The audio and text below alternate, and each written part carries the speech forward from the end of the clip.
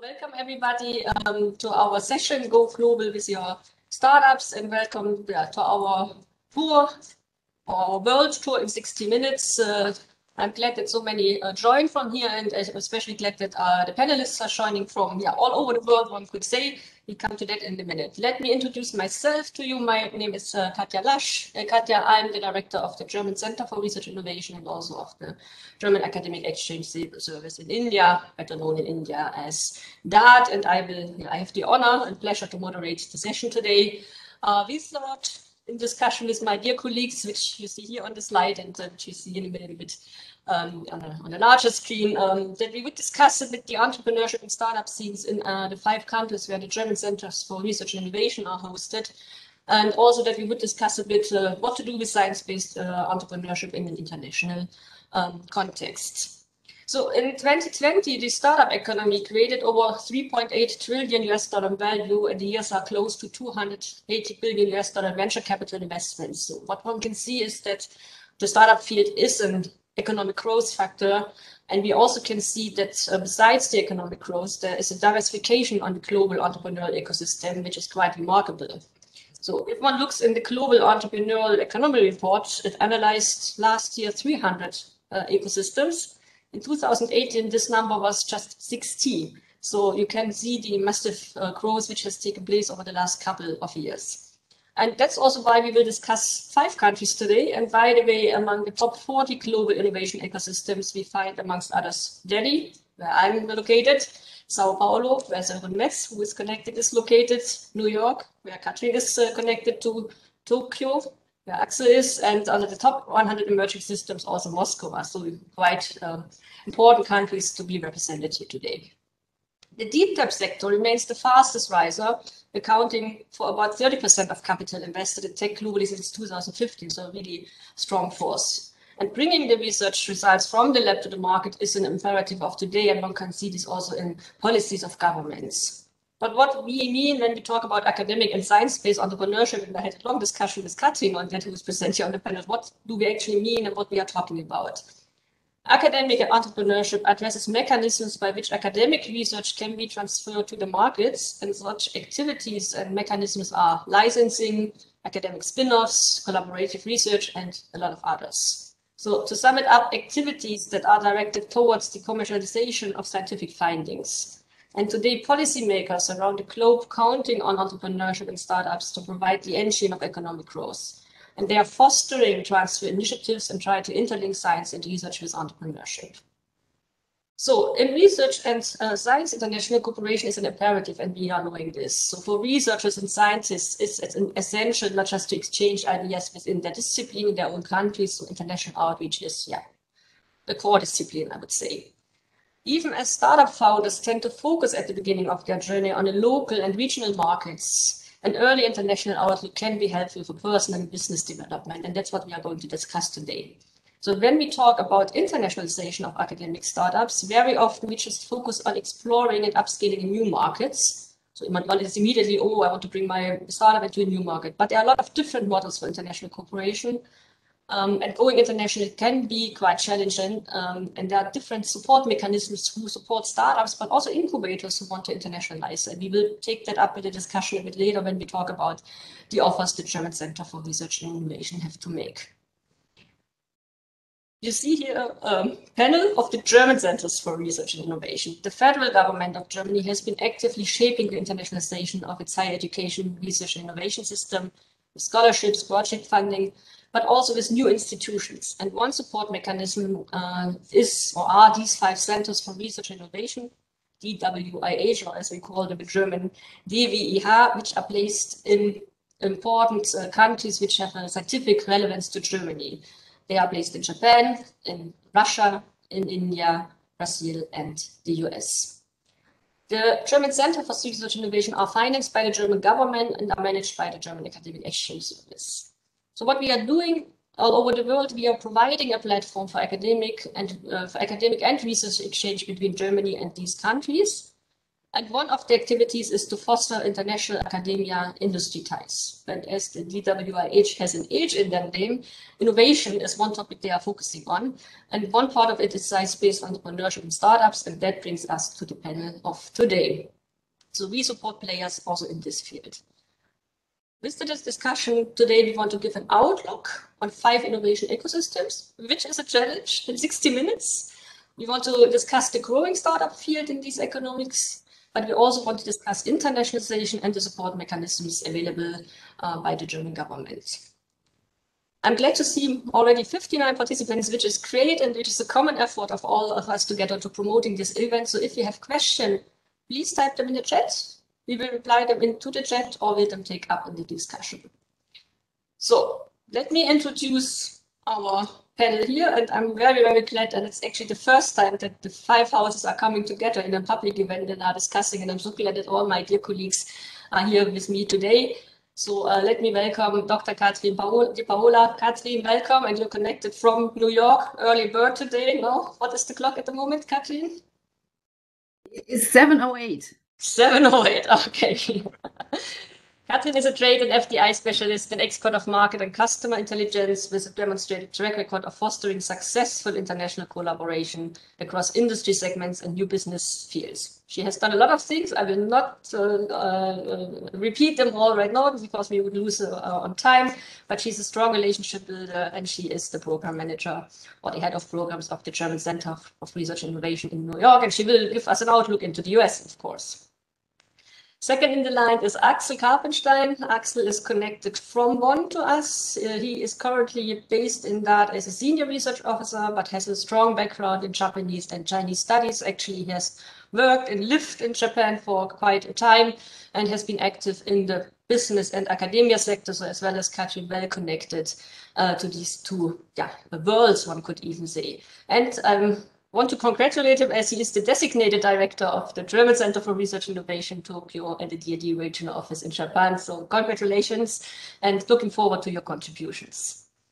Third in the line is uh, Sören Arthur Metz. Sören is uh, connected from Sao Paulo to us, so from Latin America, and he is a graduate in business administration and holds also an MBA in management and environmental studies. He has been in Brazil quite a time since 2012, and he is the senior regional manager for Latin America. But today he is joining us in his function as the chair of the board of the German Center for Research and Innovation, and he has a strong record in dealing with entrepreneurship and uh, yeah, with uh, the startups in the region of Latin America. So welcome, Sören, to our panel. And last but not least, Mikhail Rusakov, who is the program manager of the DWIH Moscow he yeah, has been with the science scenes and science management scene in Moscow for quite a while. He has, he has been working with that.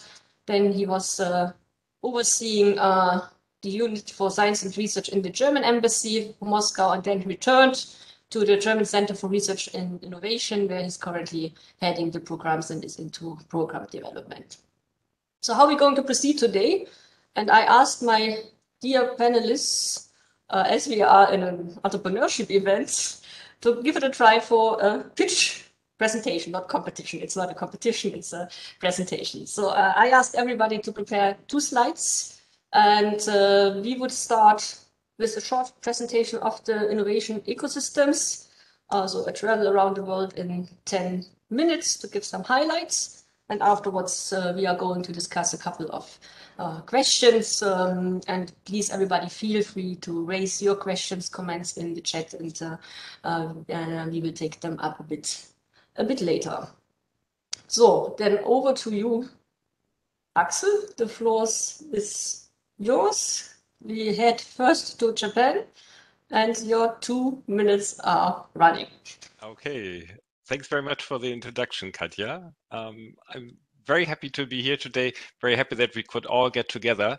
I'm also very happy that I can present actually a very interesting story about Japan. So it's a good thing maybe that I can start. Because um, only 10 years ago, Japan didn't really have a, a noticeable startup scene to speak of.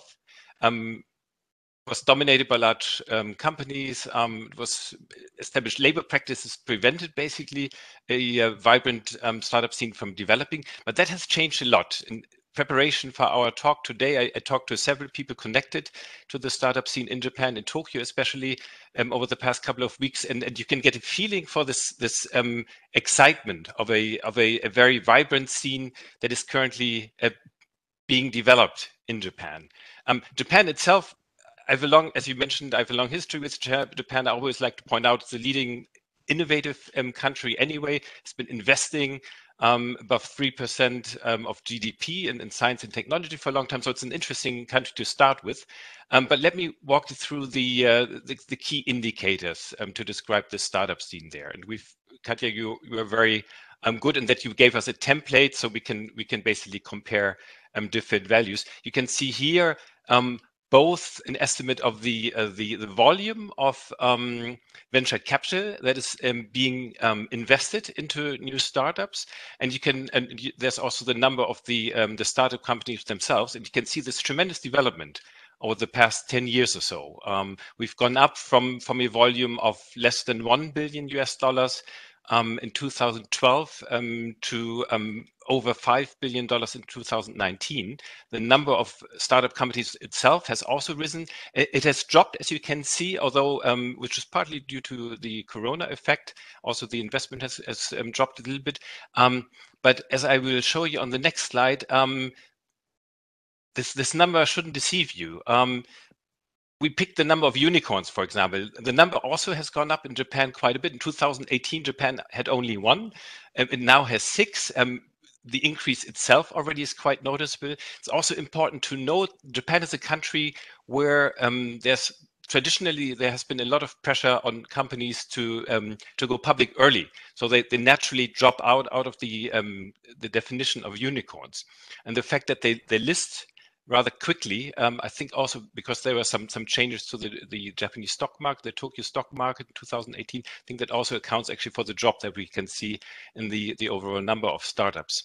Um, there's a tremendous number of, of science-based startups, um, startups that are originating from universities. The um, Japanese government has been investing um, a lot in, into this area.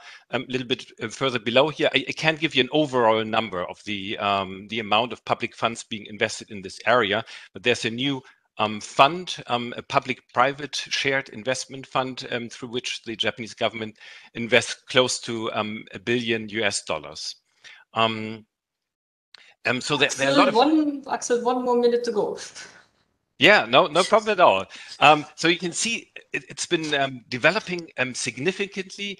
I think we can also see there there are many more independent venture companies um, nowadays, uh, which are slowly taking over from the big corporations or the banks that have traditionally provided capital.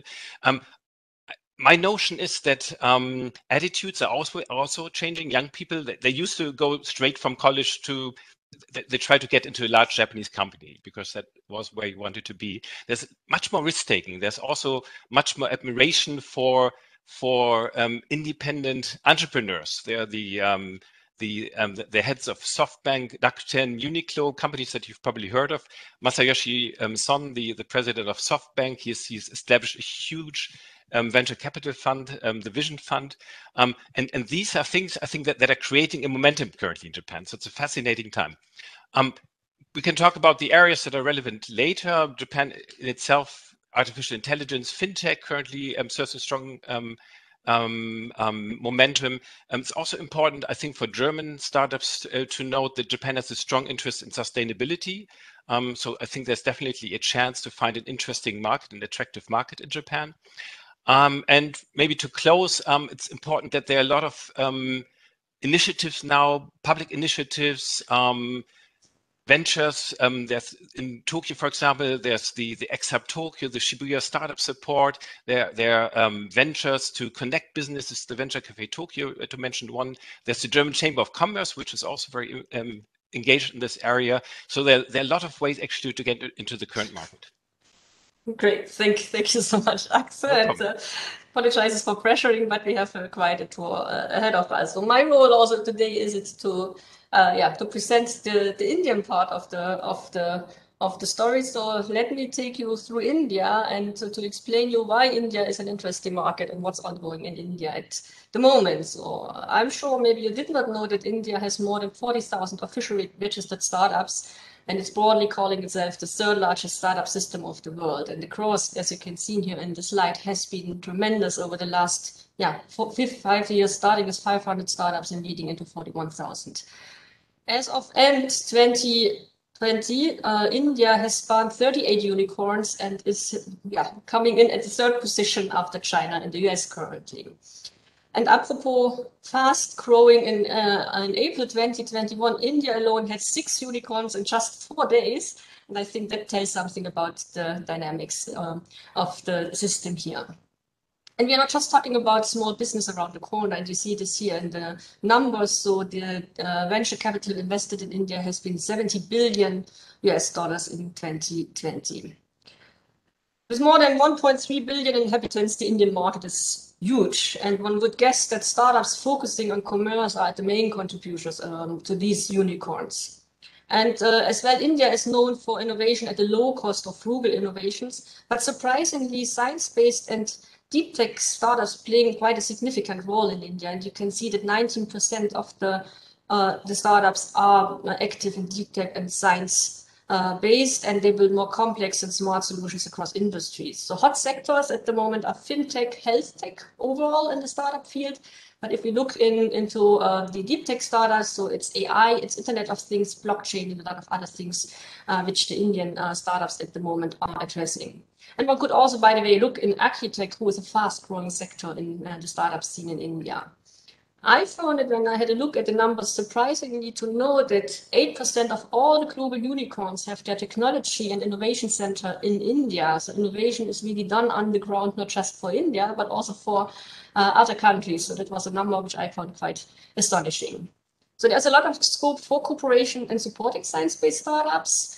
And most of these science-based startups we know are incubated at research and higher education institutions. And you see here on the slide that we have, and the number of incubators is not quite clear. And I think that's a takeaway for everybody of us when we were collecting all the numbers. We had a discussion just beforehand. Numbers are a bit bit shaky, um, but what we know we, we are presenting here. So more than 320 incubators uh, are in India at the moment, and more than 50 are placed in research institutions. And one can find these incubators all over the country with hotspots, of course, in Delhi, Bangalore, and Mumbai. And the development in the fields of science-based startup is not stopping here. Axel also mentioned uh, the funding scheme. So we have a new funding scheme in India up the new start seed, uh, the new startup India seed funding scheme, which is going to support over the next four years 3,600 startups, and India is going to invest in these science-based startup 120 million US dollar. So what to keep in mind about India is as always in India, when we talk about India, the system is huge in numbers, but there are a lot of good opportunities in the field of science-based startups. To be it to cooperate with an incubator or to partner up with a science-based startup, to upscale maybe their own technology to an attractive market and also to attract for German incubators innovative startups to Germany. So, so far so good from my side. And now I would hand over to Mihai who is giving us a short outlook on the startup scene in Russia. Mikhail, over to Moscow.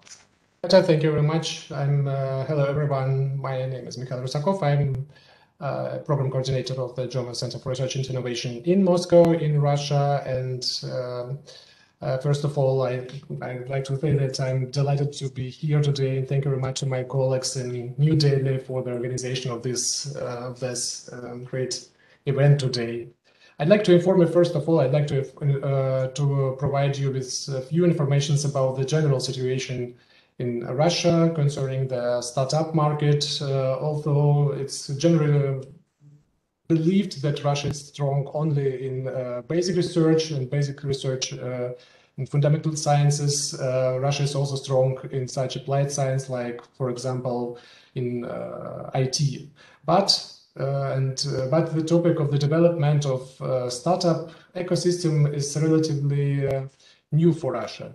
The Russian startup market started to grow actively at the beginning of 2010 And but however, it's worth uh, mentioning that uh, up to that time uh, there were a few projects in the country that uh, showed uh, rapid growth and uh, reached the capitalization of one billion dollar and more. But nevertheless, it's about the beginning of this decade when numerous venture capital funds were created and many development programs for in innovative entrepreneurs were launched.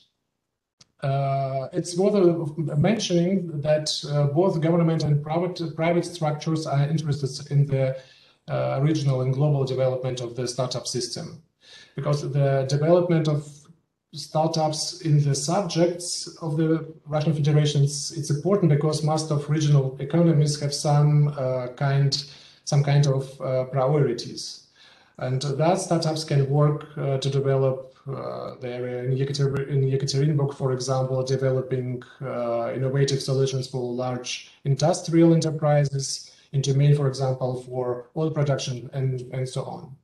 Um, anyway, 10 years ago, new uh, structures and new organizations began to emerge, and among them were, for example, Skolkovo Foundation or the Russian venture company, uh, the Foundation for Small Innovative Enterprises, uh, FASI, and IADF and, uh, and other.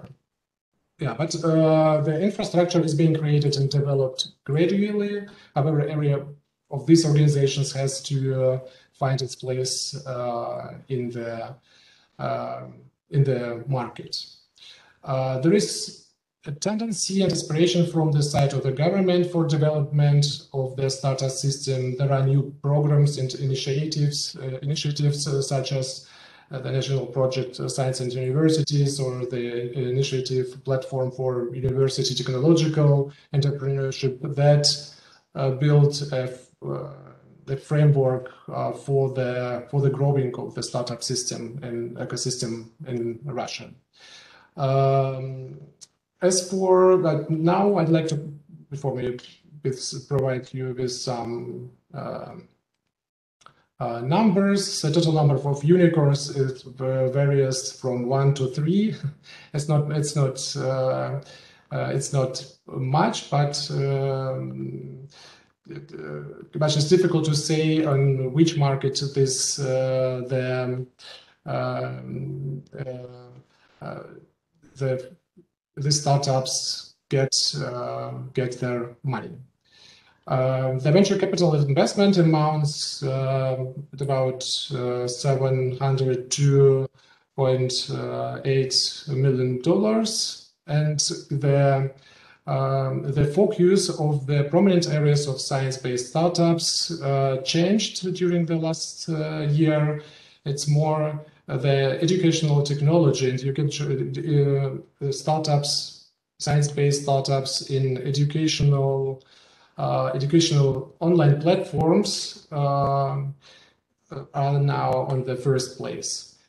AI and big data and uh, robotics uh, uh, were the main topics in the last in the last last years as well. but health health healthcare due to the pandemic is is one uh, is is now one of them of the um, uh, prominent areas of, of the startups. The number of, uh, the number of incubators uh, is uh, 91. There, uh, there, are 91, incu uh, 91 incubators in Russia at all, and 19 accelerators at universities of overall uh, 103.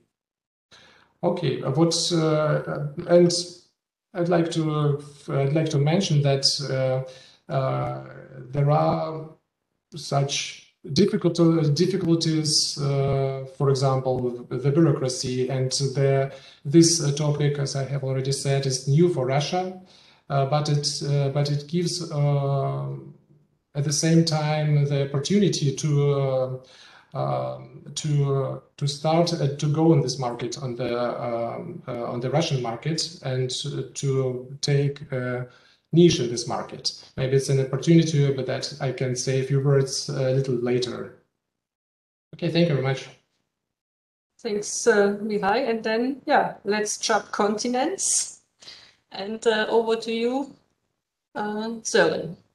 Yeah, thank you very much, Katja. And I, I um, hope that I will stay within my two minutes. Um, and just to give you, um, we we all heard a lot of numbers from all my other colleagues from Russia, from Tokyo, from uh, from India as well. And um, just to give you an example of of the growth potential within uh, within Brazil. So we started in 2011 with 600 uh, startups, and now we have 20 times uh, uh, this number, 12,000 in 2020. You saw Katja's numbers, uh, which are much more, uh, much more um, impressive. But you have to consider that we only have 220 million inhabitants um, in Brazil, and not 1.2 billion. Um, and still, in comparison, and now I want to um, to link this a little bit to uh, to what Alex um, uh, said. Uh, he talked about the SoftBank Vision Fund. There's a SoftBank Vision Fund uh, dedicated to Latin America, which is based in Miami. I don't know why. Well, we all know why because Miami is actually um, more Latin uh, than um, than any other um, U.S. city. Um, but from uh, from Miami, um, most of the Vision Fund, which is located for Latin America, goes into Brazil, and we have around about 13 um, unicorns now. The biggest unicorn um, is Nubank, and uh, Nubank is a fintech, uh, which is um, nowadays the third or fourth biggest bank in Brazil. They started um, roughly eight, nine years ago um, and really disrupted uh, the market. They are backed by Warren Buffett as well, and they um, yesterday they announced that they are filing for an IPO in New York and in Sao Paulo Stock Exchange. Um, so there's a lot of uh, things happening. And um, the venture capital investment, as you see, three three billion. Um, this looks nice, but still, there's a huge potential um, um, of growth in it. Um, some prominent areas in like health and biotech, which are not all concentrated in in the big cities. So it's not all happening just in Sao Paulo, just in Rio. We have, uh, for example, the SAP um, startup center and innovation um, center is based in um, in the southern part of Brazil. We have something going on in the center. We have in Minas Gerais. We have in the uh, in the northern part or northeastern part. And um, what I would like to highlight a little bit is that um, public investment is still a little bit shy. So there's huge potential for public investment in this area still. And um, yeah, that's that were my two minutes, and I will head over from uh, South America now to North America. Thanks, Søren. And then over to you, Katrin. Yeah, so good morning from New York. And um, I feel like everything has been said, and we're a completely sort of different market because we've been there for a long time in entrepreneurship. So we're not this hot new field where you want to go, but we're this well established, very well funded in terms of money a market that's here. But nevertheless, let me also give you some numbers because it's always nice uh, to look at them. And like my colleagues, we we had a little bit of a problem finding the exact numbers for startups that exist in our markets. And I think that's due to the fact that it's just a very fast moving market, right? You you found something today and then it might be gone in two years, it might be gone tomorrow, um, depending on the circumstances. But I think what we all see is that there's growth and there's still growth and it's still going on. There are small dips, uh, as you can see here in the States, there was a small dip in, in 2016, but in 2021, we've had a record year so far in terms of um, in terms of deal value and in terms of deal count. And you can see the numbers there for yourself. I mean, 240 billion is a lot compared to 166 billion last year. So we're picking up, and this is a very American thing also that you can see. You're coming out of a difficult time and you're moving forward. That's the pioneer spirit. You always want to invest a little bit more. Maybe I want to give you a fun fact also, uh, which might be interesting to you. I think 69% of all startups, all businesses that are being found, are being found at home. So the garage myth is actually true for the United States. So whatever you do, you know, try and find a garage and, and start your business there. It's always a good, it's always a good piece of advice. In terms of startups, the numbers vary greatly here when you look it up. We have numbers from 68,000 to a current 4.4 million applications for new businesses. So you can see there's a wide range depending on what you count as a startup. Is it just your application or is it actually something that you've been running for a little while? But again, important is that the number is growing and we also have a, a, huge growth in angel seed funding here right now and also in, in what's called the mega deals. Of course, traditionally, it's always been like that. The majority of the funding or the majority of the capital lies in the Bay Area, although there is small concern this year um, that it might dwindle a little bit and shift more towards the Midwest. So the middle of the country, the, the flyover states.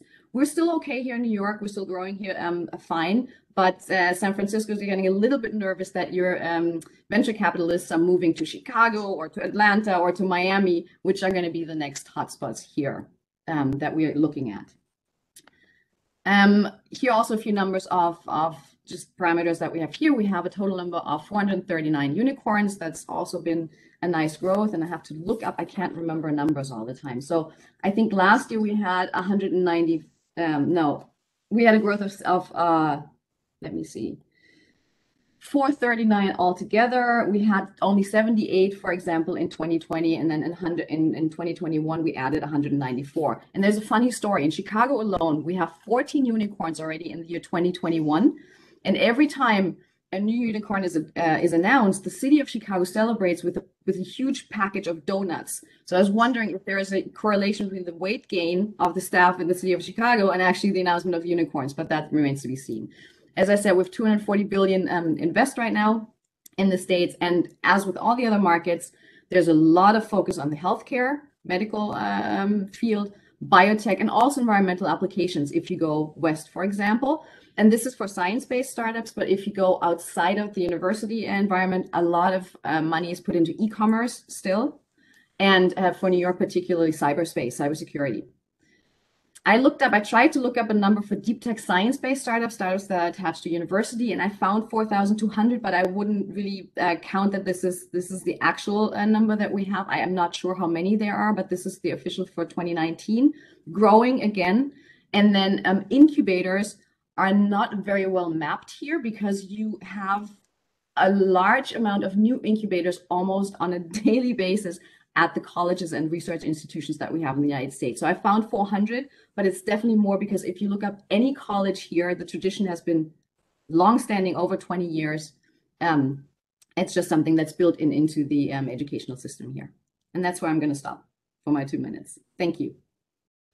Thanks uh, for, yeah, yeah, for that uh, insight and for, for the figures and also the, yeah, the, the trends uh, um, here. So we had quite, yeah, quite a good look on figures right now, but let's start a bit and go into the discussion also on the international aspects, know, as we're talking about taking your the startup or your incubator inter international. And maybe Sören, I, I kick it off, off with you. So if one looks at Brazil nowadays, there's a lot of national discourse ongoing. Um, is there an openness for internationalization for yeah, getting startups in, but also for bringing startups maybe to um, outside. So what is the discussion ongoing at the moment as you know, the political discourse is a bit focused on, on national aspects, no? um, yeah, definitely. Because what I what I already told you, it's not it's not a huge internal market like uh, like India, but still, um, in comparison to the whole region, um, when you deal with 220 million um, inhabitants and a very consumer friendly market, um, you you really what we heard about from from other incubators and from the universities that startups first they start local. Um, most of them start really local and and if they if they are in a field where uh, where parts of the product or the service can be exported then eventually they go a little bit international. We have some we have some um, some federal um, instruments uh, for that for exporting uh, companies but but I would say basically um, it's um, 90% what we heard from uh, from the incubator that 90% um, are locally focused. And uh, from the other way around, like incoming, I would say incoming startups, it's still a tough market. I would say um, it's not easy to uh, to do business um, in Brazil. Um, when you are from Latin America, I think it's a little bit easier, but still, um, it's it's kind of tough to uh, to understand.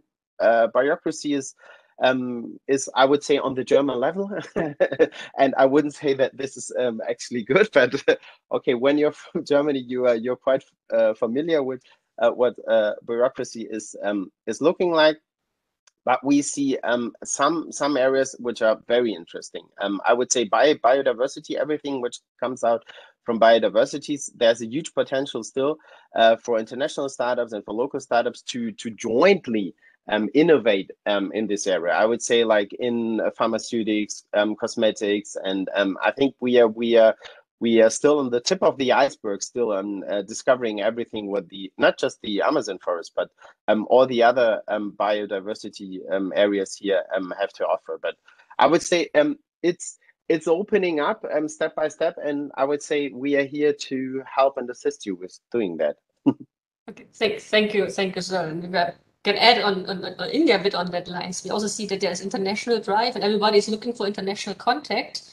Uh, but we are, yeah, have a bit of a challenge gaining interest also from the German side, know, to come come come to India. And I think for the US that's maybe a bit bit different. So, Katrin, is the US uh, waiting for the Germans and uh, German startups with open arms? And what is about US uh, startups and US incubators going international?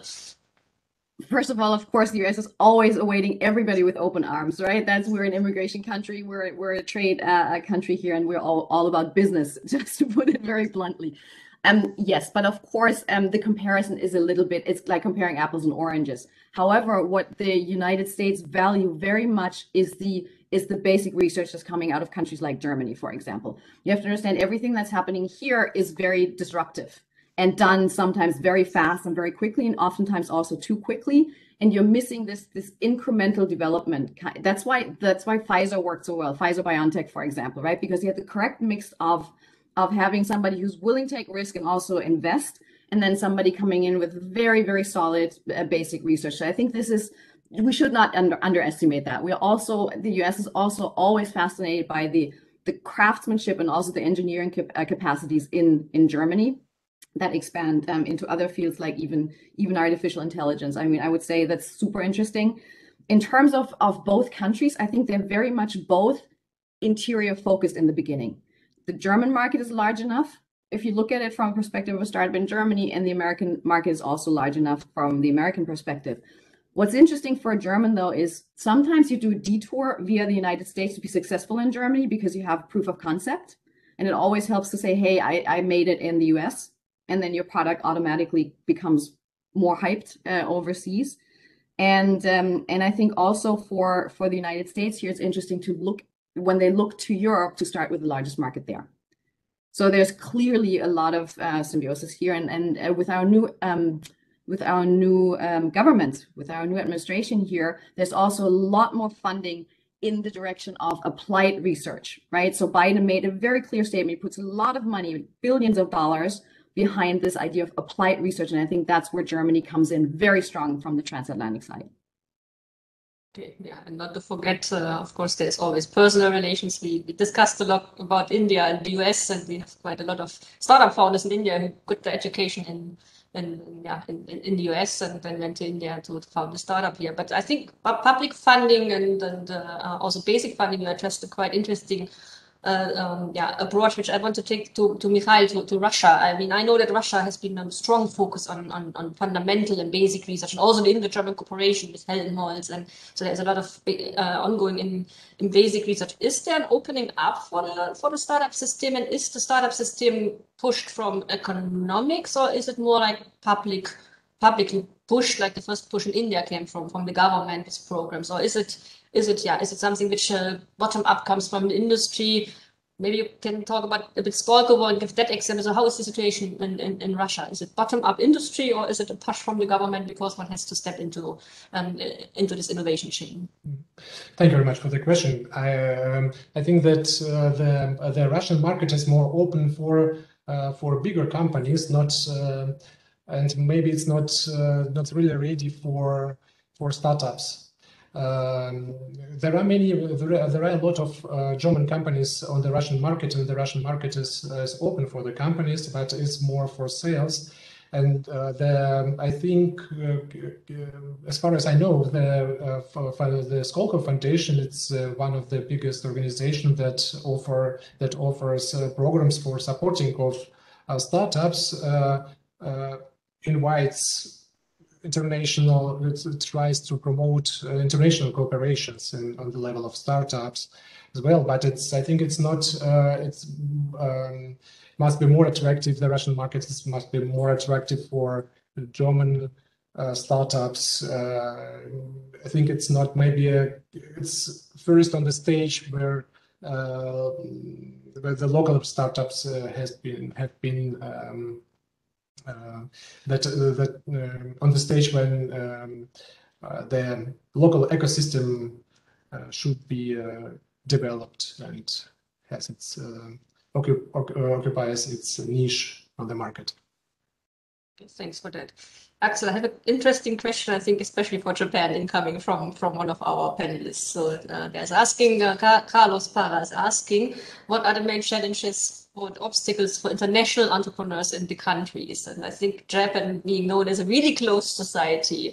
So are the obstacles in entrepreneurship in Japan the same for for somebody who's born and raised in Japan as for somebody maybe who yeah moved to Japan and now wants to found a startup there?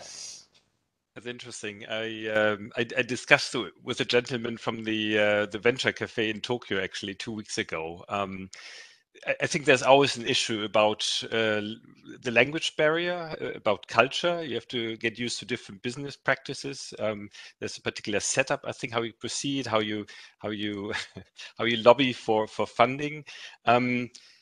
And I think that that's that's an issue for Japan. Obviously, um, maybe the hurdle is even bigger um, if, if, because you, you, really should know the language ideally to to work well in Japan, um, and that does take a lot of time with the uh, the writing system. You know, it takes several years to master that. Um, so the recommendation would really be if you, if you want to be active in Japan, you, you need a local partner. You need you need somebody Japanese um, who can maneuver um, the, the, language, who can maneuver the culture, and who can ideally also maneuver the regulatory um, barriers. Thanks, thanks for that. Maybe I mean, I, I, think language is not always not. If you look at India, people are speaking um, English, but it's also the cultural approach you mentioned. No, I think I would, yeah, I uh, also so. argue for that because uh, if you would look like just a discussion with, with uh, startups and incubators, uh, say the approach is completely different. So German would work more continuously and there's uh, yeah. uh, not so much ad hoc taking place. Uh, uh, and then in India, one has to jump on things. There's a lot of things ad hoc taking place. But maybe Katrin or, or Søren, over to you, maybe to cultures which seem to be a bit more close. to to um, yeah to Germany, for instance. So are there also these struggles and barriers, or is it a bit easier if I go to a place um, which seems to be culture-wise bit closer to me than probably Japan or uh, India or Russia.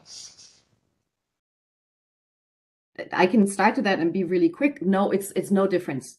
I mean, it seems more exotic and it seems much more more stark in the other regions, but it's it's very similar when you come here and i think that's also that's a danger because you think you know it so well you think you know it from your tv series and movies and encounters that you've had maybe in your life but then when you get here there are so many fine nuances that you need to know um, that can make or break your deal i mean the, the the most obvious here for example is how do you present yourself right you cannot come with your german presentation style for example because you will you will just not make an impression and I think there's so it can be even more dangerous if you think you're too close and you know it all um, than actually already expecting, well, I don't speak the language, I don't know the culture very well, and then you're more cautious. But here you, you feel almost too comfortable too quickly. So you would like to add on that or? Uh, maybe maybe um, uh, just adding i think um, uh, cultural differences and especially when it comes to uh, language barriers um, are still huge when you don't speak Portuguese, um, especially um, in some areas when when you really have to do like field work, when you um, when you work with the agro agro sector, which is huge here um, in Brazil and in and in Argentina, for example, um, you really have to speak the language because um, from a um, from a certain level, management level on, um, you don't always have someone um, who speaks fluently English uh, with you. So, uh, so this is the first step, and then it's still a little bit more exotic. So um, when you when you speak about German um, uh, startups and what Katrin said, I think makes totally sense because you feel that that uh, that you are more um, more like um, affiliated to I don't know to the United States or um, or to Canada. But on the other hand, um, I think then you then you leave out the uh, nuances. But once you are here, I think then you really get um, you, then you really um, appreciate the Brazilian market because it's once you understand all the rules and uh, where you want to talk to then it's i would say it's it's it's rather quite it's not it's not easier but i would say it's really um, you have a really interesting ecosystem here where you can really uh, evolve where you can pitch um, uh, develop um, um improve your product, and um, that's what I really wanted to um, to point out here. Is that once you once you jump above this quite high uh, uh, barriers, then I think you were, I wouldn't say then you're in safe waters, but um, you were um, uh, you really get appreciate the market, and I think Axel will wants, Axel wants, to, jump, yes, wants to jump over the barrier of the uh, Japanese cultural. Yeah, I, I, wanted to add something to maybe um, make it seem less less daunting a task to to expand to Japan. Because on the one hand, there's the language barrier, there's the you know the local business customs and everything. What what I find fascinating, I'm not sure whether we're comparing experiences now, and I'm not sure whether that's the uh, the same for all countries. Because it seems to me that uh, Japan is actually trying to to to attract international startups and that I, I, find quite fascinating because you would intuitively think well that's first of all competition maybe to local companies but there are a lot of public um, venues that are engaged trying to attract and, and support international corporations. Um, I, I, talked to uh, it's it's a a, a municipal uh, um, it's, it's a startup support organization um, run by the by Tokyo um, prefecture and um, they have a program um, where foreign um, startups could apply. Um, and uh, it was amazing to see. I, I, think that they had, had a slot for, for 10 uh, startups um, that, that would receive um, intensive support. And they had 400 applications a third of which I think came from Europe, also with a significant amount of applications from from Germany, and and even more interesting because we talked about the issue that a lot of startups first want to stay local, but in fact, a lot of startups that applied from outside Japan, they're actually at a, at a very, very early stage. So I thought that was actually quite, quite fascinating. Yeah, nothing which we normally see in the in the in the trends, now, which is uh. But maybe let's let's come back with have talked a bit about soft landing, cultural barriers, and and and, and so on. Maybe we, we can have a look a bit, and I think it's good what you brought up actually about funding support mechanisms is then openness for, for internationalization. And uh, you could see this also maybe on the level. I think startups do want one level. The other level is uh, maybe also incubators who would like to go international and they would like to reach out to a counterpart and to see what's uh, what's ongoing there. So hire for a country which is earlier, which is now maybe a couple of years still to go, where uh, to reach a certain stage. Nevertheless, before we even talked a bit, there are a lot of support mechanisms um, available in Russia, and there's a lot of, of, money in the system to make it sustainable. Maybe you can give a short uh, outlook uh, what's happening in, in, in, the, in, with this funding support mechanisms and where one could look, uh, for instance, for, for support. Uh, thank you, thank you, Katja, for the question.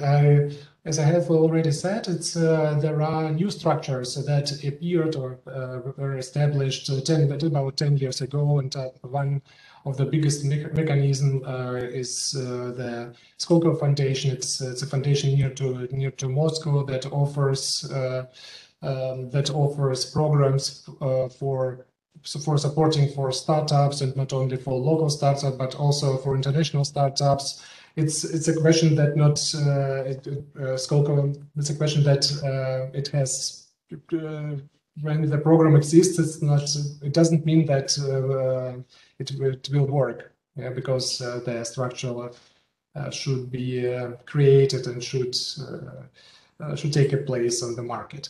Uh, but um, there are different different mechanisms for international cooperation, and not only from the Skolkovo Foundation, but also from the um, uh, there is a there is um, a, foundation for small uh, innovative enterprises that was established also to, to about uh, eight years um, for, ago. It's, it's called for short uh, FASI, and it has uh, it, had a common project. It had a, a common um, program with the BMBF, with the with the, with the Ministry uh, Ministry for Science and uh, Research, and now it has uh, and it has a program. It offers a program with the EU uh, with the uh, European Union in the framework of the uh, of the program Horizon 2020. There are, there are a lot of instruments for for international cooperation, and especially and for bilateral cooperation with with Germany. Thanks for that. I think that holds true for, for, for a lot of countries, but you mentioned the BMBF, and I think that, that leads us a bit, uh, bit to the question um, how we can support. No, all uh, the five of us are working in different countries, and me in daily looking, for instance, at the moment, uh, what is our, yeah, what could be our support mechanism for incubators and startups, um, just reflecting uh, reliable networks, reliable partners, especially in huge systems, finding the right partner maybe is one approach one one could have. And this is something we are, we are offering to, yeah, to lead German startups, incubators through the uh, huge uh, system which we have in place in India. But maybe uh, from um, each of us could name one aspect, as time is running, unfortunately, I just see one aspect uh, how your Center for Research Innovation or House for Research and Innovation could help uh, for internationalization uh, startups or incubators who might choose uh, in, in your country. And I start with, uh, again, from the east to the west, and then maybe we finish with India this time. But uh, Axel, maybe you could name one, one thing the German Center for Research and Innovation is offering uh, our participants here to go international, be it startup incubator. So I one got first mover advantage now. I can pick anything. but I think the, the, the big strength really of the German houses of research and innovation is the con- the connectedness. Um, we have the, the DWIH supporters. We are connected to, to local organizations from politics, from research, universities. That I think is, is really something where we where, where we can support um, both startups and incubators because we can can point them the way and and um, make contacts to the right people. Um, Yes, I go with India last this time. It's the advantage of being the moderator. Over you to you, Mihai. Uh, what, uh, how the uh, the the DWIH Moscow can can serve and can support the I internationalization. agree absolutely.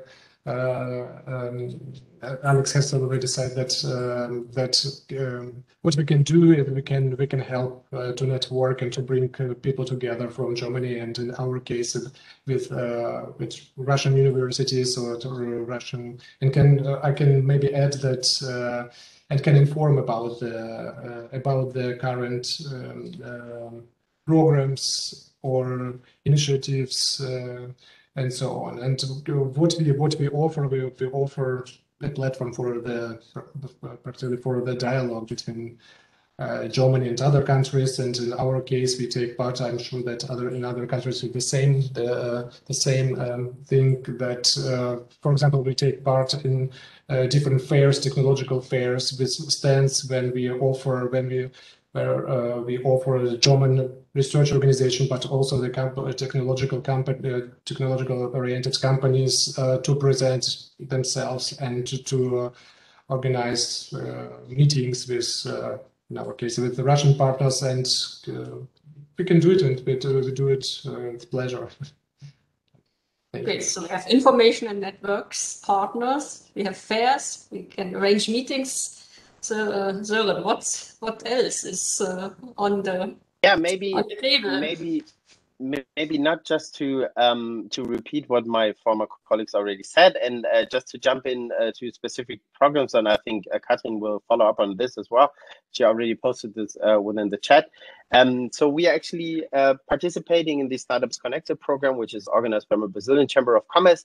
And uh, normally we we choose the German startup uh, to come to Brazil and to participate, and uh, they uh, they get a uh, week full of um, well, not really training, but um, interesting contracts, um, contacts in industry or wherever they want to launch their product or um, or market. So uh, uh, this is one aspect, and the other one is that we are uh, currently developing um, an innovators weeks. Um, this will be in the first or second quarter of 2022 um, for uh, German um, like entrepreneurial minded students or early stage startups to come to Brazil to get to know the market. So because we all we all heard about the different challenges and um, and yeah, I would say barriers, um, soft barriers, hard barriers um, to come to not so well known markets. And um, so yeah, this will be two um, two specific problems to to tackle this. And the other one is um, as well what I already what all my other um, colleagues already said is I think really use the um, German Centers for Research and Innovation and all their um, members and or associated members and all their uh, knowledge to to get access. And um, people here are very open, um, especially when it comes to when you're an incubator or um, when you're a startup and you you have something which really would make sense here in the market. Um, contact us, um, communicate us your idea, and we will try to help you with this. I think exploring markets, Catherine, here we go. Yeah, I already I posted something in the chat, yeah. I'll, I'll do, be very fast so the moderator can have the last uh, two minutes. So now I want to reiterate what, what Sören just said. What you have here with the five of us sitting here, you have the whole world at your fingertips. So use us. Don't don't hesitate. Use us. Go on LinkedIn, link with us, whatever. We can really help you. And I just want to point out one um, program that we're doing here at the DWIH in New York for the first time. We partnered with the German American Chamber of Commerce. They already have an existing program that's called STEP for startups, where they invite startup groups uh, to New York. Usually, right now, it's virtually. We kind of say it's like getting a driver's license. You do, you do the theory part first, you do it virtually, and then you come to New York when you're a little bit, you know, more established. What I want to say about the program, I posted in the chat. You can apply. We're sponsoring it with 80% of the cost uh, from the DWIH here. And don't be afraid if you're super, super, super early stage. So this is really for for everybody who has the slightest idea of I'm interested in the international markets. So don't think you have to be established. You don't have to have a full product yet or um, a prototype or whatever. Check it out and, and, and take a look. And this is what we're trying to establish more and more from the side of the Center for Research um, and Innovation. Yeah, then maybe... I made it two minutes left. No, and, and we can also. so uh, if we, I mean, all of us have said medical league is holds also true true uh, for India, and uh, we're also working on specific programs, um, developing uh, in developing into a tandem project next year with the aim to bring German entrepreneurs to India to partner them up in an incubator in India, and then to let them work on a problem and on a challenge uh, but we are also running the Falling Walls Lab, for instance, in India, um, where Indian startups can pitch and um, manage this year to have the German incubators uh, on board who had a look. And there's been a lot of contacts established besides the fact that the winner uh, gets a nice uh, trip um, trip uh, to Berlin. But we are also working uh, on the field of interconnecting incubators. so this event is one, one part of it. And in December, uh, so have a maybe look at our website or you can post it in the chat. We will run a dedicated event to uh, connect incubators from India and Germany, offering the opportunity to yeah get an overview on the systems, but also dedicated B2B meetings on the platform for two days. So this is uh, something bit of a different direction, but as I said, information meetings we are we are also running as the New Delhi. This hour went fast, really fast, I have to say. it was flying, but it was a first. So let us know or also if that's been interesting, we could take that up. Uh, but before we come to an end, maybe each of you gives uh, one suggestion to a startup who wants to go international in countries. So my suggestion to a German startup who wants to get a footstep into the market XYZ is and one sentence per person. And uh, Sören, you go first. Oh, I was still, I was still um, trying to figure out my um, my sentence, but I would say, um, uh, don't be afraid. Um, uh, try to make errors and really um, uh, do these errors in a very early stage, a very early stage, and also already think about um, um, going global in these early stages. Because if you fail you can already stand up again in these early stages and you don't have a huge structure you have to deal with. And do it um, on a very early stage level and um, contact us use us use all the programs you have. Good. Axel. Um, I think it's very important that you that you connect yourself, that you meet people. So make use of all the opportunities to to connect with the um, startup scene on site. Um, I, I, posted some things into the chat, some some venues that you can use, matchmaking um, organizations, for example, and others. Okay, um, yeah, Mihai, what you would say as a uh, to try it, try it if you if you have an idea, then uh, try it. And I think uh, there is uh, programs for everything and for every country. In every country, you can find a program that you can feed or can help you to uh, uh, can, can support your project, your startup. Uh, try it and networking. Networking is the most important thing, I think, in this case. Yeah. Katrin, to New York, over to you. I'm trying not to repeat networking, which of course is very important, but you all said it. So I want to say, I want to give you a few pieces of advice. Don't ever hesitate. No idea is too crazy to not pursue it and not try to to make it come to life actually to, to life yes start very very early even if you just have an idea start thinking broader than what your horizon currently is and there absolutely no i cannot do it that's my little spiel. Okay, good. I would add on this no borders, neither in your mind, neither country wise. So just do it as it was said. And I would suggest for India, just come over. Don't be afraid of flying in. Sit together with the Indian creative minds, maybe discuss the idea, get different perspectives, working together um, um, um, um, on the local local scene, broaden your perspectives, and then develop your idea further or your product your product further.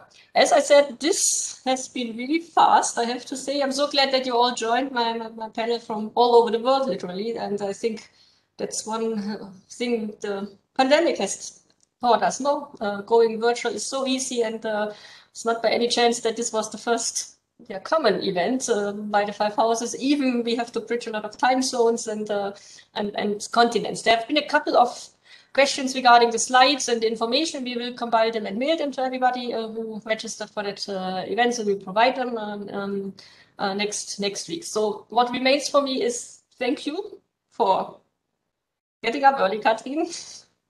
and Søren for your insights, uh, for uh, giving us an insight in an early system from from from Russia, and um, also for Axel for connecting uh, from Bonn and giving us an insight into the Japanese society. that has been wonderful experience. I hope we will repeat it uh, pretty pretty soon.